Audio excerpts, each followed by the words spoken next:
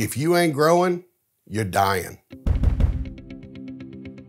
We hear that saying all the time, but is it true? In today's video, I'll convince you that it's more true than not. As leaders, we wear so many hats, and we're willing to do whatever it takes to survive. The worst possible outcome for us is losing our business. Unfortunately, more businesses die than survive. In the last video, we talked about becoming the leader your company needs you to be. It's so important because if you're not growing as a leader, they're not growing as team members. Your company will likely become stagnant, your competitors will likely pass you up, and your customers will likely move on. The challenge is to grow our companies, we need to grow more than just our leadership skills. We need to grow our competencies in areas such as marketing, sales, overhead, products, management, and cash flow. Those are a lot of areas to focus on, and we need expertise. Basically, you're gonna have to focus on each one of those areas and grow your expertise. And most likely, you can't do everything by yourself. Lastly, we must execute flawlessly. It's one thing to decide to grow, and another to improve in those areas, but we must execute.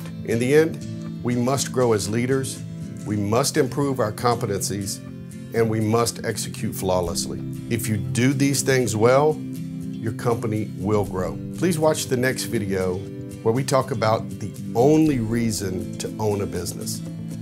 And remember, as you grow, your company grows. Keep growing.